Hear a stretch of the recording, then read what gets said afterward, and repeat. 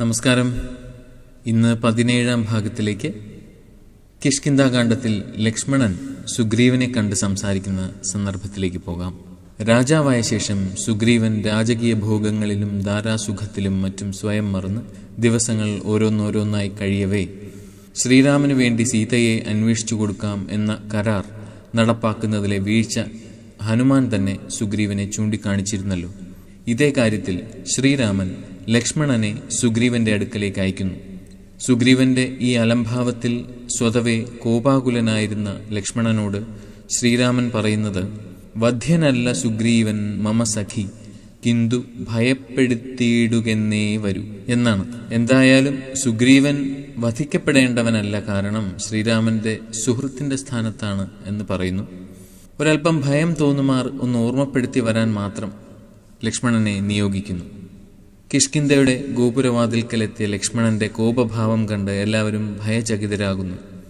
സുഗ്രീവൻ ലക്ഷ്മണന്റെ കോപം എങ്ങനെയെങ്കിലും ശമിപ്പിച്ച് യഥാവിധി സ്വീകരിച്ച് കൊട്ടാരത്തിലേക്ക് ആനയിച്ചു കൊണ്ടുവരാൻ ഹനുമാനെയും താരയെയും നിയോഗിക്കുന്നു. സുഗ്രീവനെ കണ്ട ലക്ഷ്മണൻ പറയുന്നത് വൃത്രാരിപുത്രനെ കൊന്ന ശരം ആര്യപുത്രൻ കരസ്ഥിതം എന്നും അറിയുക നീ എന്നാണ്. അതായത് ബാലിയെ വധിച്ച അതേ ശരം ശ്രീരാമദേവന്റെ കൈക്കൽ ഇപ്പോഴുമുണ്ട് എന്ന് മാത്രം ഒരു താക്കീത് എന്ന വണ്ണം ഓർമ്മിപ്പിക്കുന്നു. ചുരുങ്ങിയ വാക്കുകളിൽ തന്നെ ഇക്കാര്യത്തിലൂടെ അമർഷവും മുന്നറിയിപ്പും അറിയിച്ച ലക്ഷ്മണനെ വീണ്ടും വണങ്ങിയ സുഗ്രീവൻ തനിക്ക് ശ്രീരാമചന്ദ്രനിലുള്ള ഭക്തിയും ബഹുമാനവും ആവർത്തിച്ചുണർത്തിക്കുന്നു. ലോകം മുഴുവൻ കീഴടക്കാൻ കേൾപ്പുള്ള ശ്രീരാമനെ സേവിക്കുന്നതിനുള്ള അവസരം തങ്ങൾക്ക് ലഭിച്ചത് തന്നെ ഒരു വലിയ നിയോഗമോ ഭാഗ്യമോ ആയി മാത്രം കരുത്തുന്നു എന്നാണ് സുഗ്രീവൻ പറഞ്ഞത്.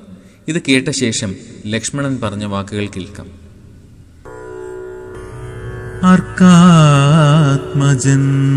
കേട്ടു സൗമിത്രിയും ഉൾക്കാമ്പഴിഞ്ഞു അവനോട് ചൊല്ലിയിടിനാൻ ദുഃഖേന ഞാൻ പരുഷങ്ങൾ പറഞ്ഞതും ഒക്കെ ക്ഷമിക്ക മഹാഭാഗനല്ലോ നീ. നിങ്ങൾ പ്രണയമധികമുണ്ടാകയാൽ സങ്കടം കൊണ്ടു പറഞ്ഞിതു ഞാനെടോ.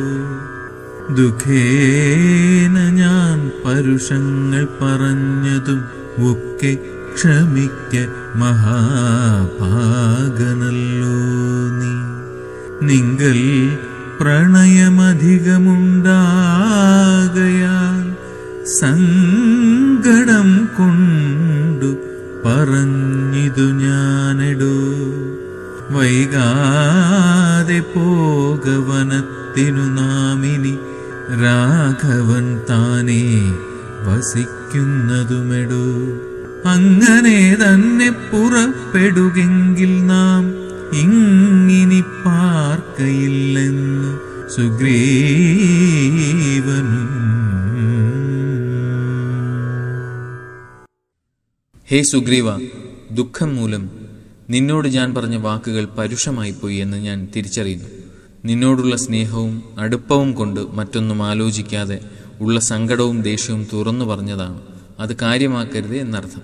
ഇനി നമുക്ക് സംസാരിച്ച് വൈകിക്കാതെ വനത്തിലേക്ക് പോകാം എന്ന് പറയുന്ന ലക്ഷ്മണനൊപ്പം ഉടൻ തന്നെ ഒട്ടും വൈകിക്കാതെ സുഗ്രീവനും ഇറങ്ങുന്നു. ഇത്തരം സാഹചര്യങ്ങൾ എല്ലായിടത്തും കാണാം. ആദ്യം പരുഷമായ വാക്കുകൾ വരും. പിന്നീട് അവ കോപം കൊണ്ടും സങ്കടം കൊണ്ടും പറഞ്ഞു പോയതാണ് എന്ന് തിരിച്ചറിയും. ആരോടാണോ പറഞ്ഞത് അവരോടുള്ള സ്വാതന്ത്ര്യമോ ഇഷ്ടക്കൂടുതലോ അടുപ്പക്കൂടുതലോ കൊണ്ട് മനസ്സിലുള്ളത് എല്ലാം ഉച്ചത്തിൽ പറഞ്ഞു പോയതാണ് എന്ന് കുറ്റസമ്മതവും നടത്തും. പരുഷമായ വാക്കുകൾ വന്നു പോകും എല്ലാവർക്കും. അത് സ്വാഭാവികം. വന്നാലുടൻ തന്നെ അത് നല്ല മനസ്സോടെ തന്നെ തിരിച്ചറിയണം. കേട്ടയാളും സൗമ്യത പാലിക്കുകയും വേണം.